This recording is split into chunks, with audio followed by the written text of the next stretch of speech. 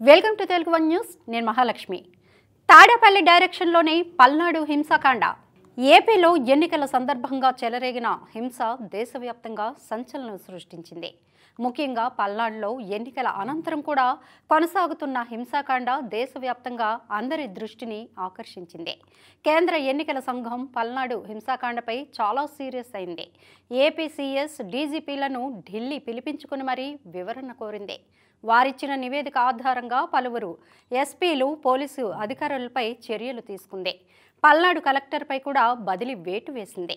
అంతటితో ఆగకుండా ఏపీలో అల్లర్లపై ఐపీఎస్ అధికారి వినీత్ బ్రిజ్లాల్ నేతృత్వం పదమూడు మంది సభ్యులతో స్పెషల్ ఇన్వెస్టిగేషన్ టీం ఏర్పాటు చేసింది.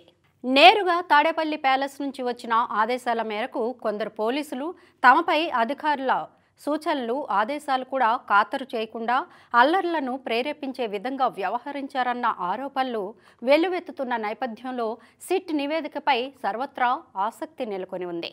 అధికార పార్టీతో అంటకాగుతున్న కొందరు పోలీసులు వైసీపీ మూకలు చెలరేగిపోవడానికి పరోక్షంగా కారణమయ్యారన్న అనుమానాలు కూడా ఉన్నాయి. పోలింగ్ అనంతరం పల్నాడు జిల్లాలో జరిగిన హింస ప్రతిపక్షాలపై దాడుల వెనుక జగన్ అనుకూల పోలీసు అధికారుల పాత్ర ఉందన్న చర్చ పోలీస్ అధికారుల్లోనే జోరుగా సాగుతోంది.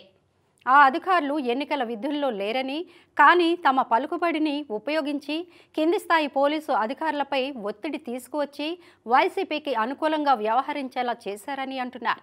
ఇక సరిగ్గా ఎన్నికలకు రోజుల ముందు రాష్ట్రానికి కొత్త డీజీపీగా వచ్చిన హరీష్ కుమార్ గుప్తా పూర్తి క్రియారహితంగా వ్యవహరించారని ఆయన సీఎస్ ఆదేశాల మేరకే పనిచేశారన్న విమర్శలు వెల్లువెత్తుతున్నాయి. ప్రస్తుత సీఎస్ జవహర్ రెడ్డి తన వైసీపీ అనుకూల వైఖరితో ఎన్నికల సమయంలో వైసీపీకి అనుకూల వాతావరణం ఏర్పడేలా చేశారని తెలుగుదేశం కూటమి విమర్శలు గుప్పిస్తోంది. ఇక తాజాగా ఏర్పాటైన సిట్ నివేదిక ఆధారంగా సీఎస్పై ఎన్నికల సంఘం చర్యలు తీసుకునే అవకాశాలున్నాయని కొందరు అంటుంటే సిట్పై తెలుగుదేశం కూటమి సభ్యులు మాత్రం పెదవి విరుస్తున్నారు. పదమూడు మంది సిట్ బృందంలో అత్యధికులు ఏసీబీ నుంచే ఉన్నారని ఇటీవలే ఎన్నికల విధుల నుంచి ఉద్వాసనకు గురైన మాజీ డీజీపీ రవీంద్రనాథ్ రెడ్డి ఏసీబీ చీఫ్గా ఉన్నారని కూటమి నేతలు అంటున్నారు. ఎన్నికల విధుల్లో లేని నిజాయితీ పరులైన పలువురు పోలీసు అధికారులు ఉండగా సెట్లో ఏసీబీ అధికారులకే ప్రాధాన్యత ఇవ్వడం అనుమానాలకు తావిస్తోందంటున్నారు.